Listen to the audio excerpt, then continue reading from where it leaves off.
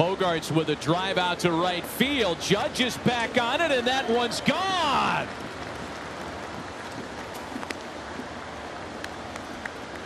So was Xander sitting on a fastball there? I, I would have. With a spike changeup, Gary Sanchez knee one, one knee in the ground. I am making him a two-pitch pitcher. Fastball is what I'm looking for. Exactly what Bogaerts did right there. Fastball away, hit it. Oh.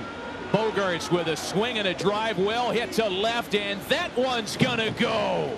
What a night for Xander Bogaerts. And for Bogaerts, a five-tool superstar. He's done it all today. Home run to right, double to left, and now the 3-2 hanging cement mixer, which is a